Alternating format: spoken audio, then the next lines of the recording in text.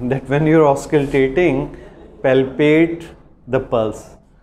And sometime I have seen people saying that first heart sound is the one which is coming with the pulse, isn't it? A number of time I have seen people answering that sound which is coming with the pulse is first heart sound. Now just see it can't it can't be possible to have your first heart sound with the pulse because for, for auscultation you have to have a rough idea of the cardiac cycle in your mind. So what you have to really assess first heart sound, how is it produced? First heart sound, closure of mitral and tricuspid valve. That's the first heart sound. So it's at the end of diastole.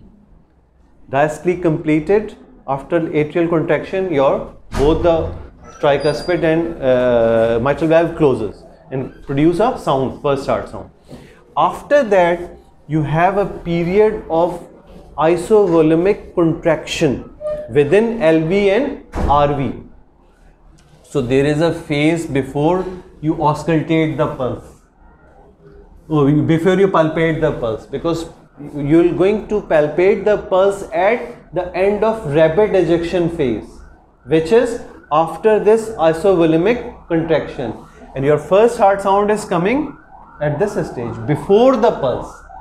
So the sound which is coming before the pulse is first heart sound. It's almost impossible to assess a pulse and then coincide it with the heart sound. Whether heart sound is coming before the pulse or after the pulse you can't do that. It's practically impossible.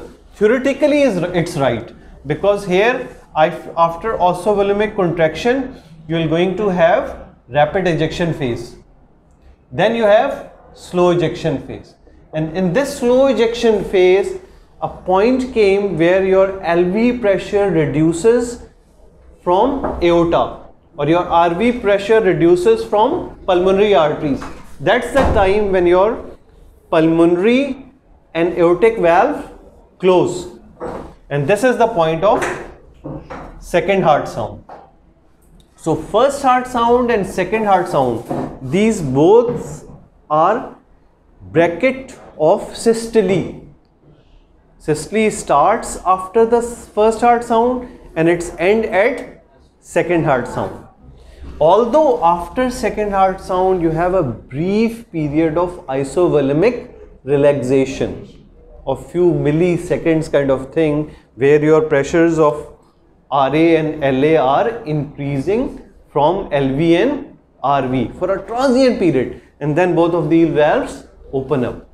And after opening you have a phase of rapid filling, then you have a phase of diastasis and then lastly atrial contraction. And then after atrial contraction what happens? Closure of mitral and tricuspid valve. And this closure is again in a way that your LV and RV pressures are slightly starting to increase from RA and LA. It only happens when your LV and RV pressures are increasing and the both are close. And then again the same cycle starts, isovolumic contraction, rapid ejection. Now the thing is during auscultation, if your patient heart rate is not very fast important thing is to gauge this duration. That systole is is lesser in duration as compared to diastole so what you do you after listening the sounds try to assess which sound is coming after a longer pause. So just make a habit of auscultating normal people and just judging which sound is coming after a longer pause. This sound which is coming after a longer pause is S1 and the one which is coming just after that is S2. That's the way to judge first and second heart sound. And actually this auscultation is all a music, a rhythm which has different like instrument in, in, a, in a whole band you have a bass line music So you have to make yourself habitual of judging this baseline music. Dug, dug, dug, dug, dug, dug. Then you have, when your abnormalities came, you have addition of additional instruments in it. Murmurs, clicks, this, that. And that can again only be recognized once you have, have heard these abnormal sounds within this baseline music of S1 and S2.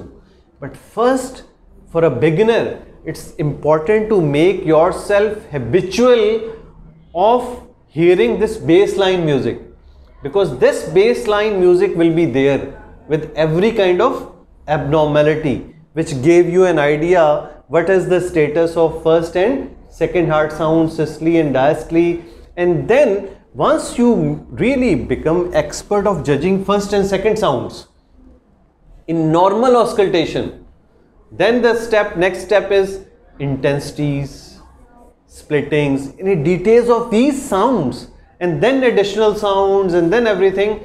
But for to really ex become expert in auscultation you should be really master in judging normal people with auscultating and getting where is the which one is the first and which one is the second heart sound so from now onward make yourself habitual of auscultating the normal people.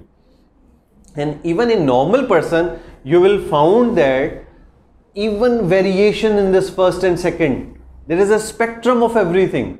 When to say normal and when to say abnormal. Even in these phases you may found some sounds which may be normal so that means you have this capability of judging during auscultation what is normal and what is abnormal. From where is the spectrum of abnormality is because for a new person who's auscultating sometimes even the things like flow kind of sounds are coming and he systolic murmur diastolic murmur pata nahi, so many findings and actually there is no finding there because this is the spectrum of normality and then judge abnormal. And even in abnormal you found a spectrum. Some some of the patients having very subtle kind of abnormal murmur. Some are having very fine easily heard murmur. That's the way to judge an auscultation. So today what we'll be leaving you on these basics. Make a template of presentation and auscultate the normal patients as much as possible in next session we're going to really judge abnormal findings and make you in a, in a situation to judge those findings. Okay? Thank you very much.